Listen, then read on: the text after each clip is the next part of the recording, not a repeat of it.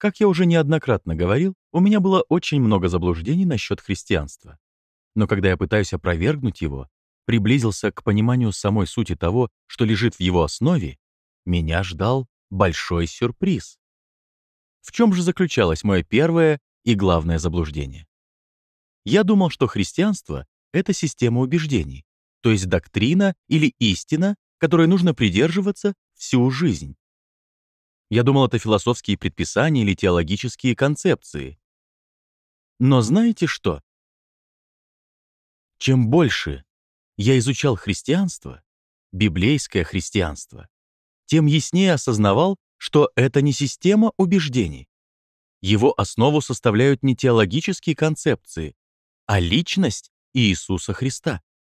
Об этом я не подозревал.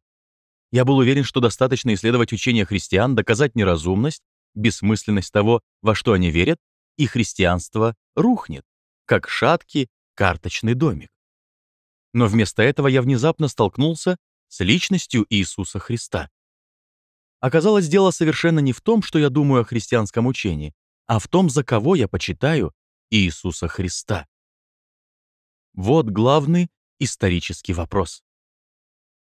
Знаете, что радикально отличает Христа от других религиозных вождей?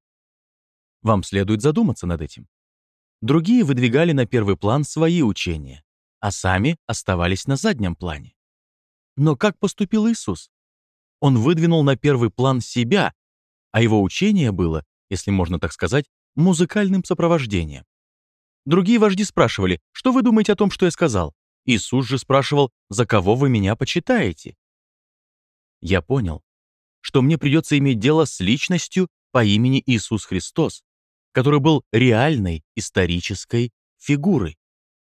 Был распят, убит, похоронен, но, как утверждали, на третий день воскрес из мертвых.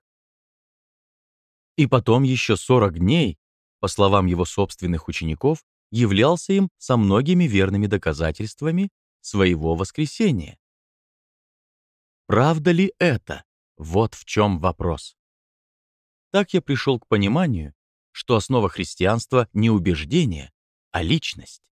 И дело не в том, как я отношусь к тому, что он говорил, но в том, как я отношусь к нему. В этом состоит уникальность христианской веры.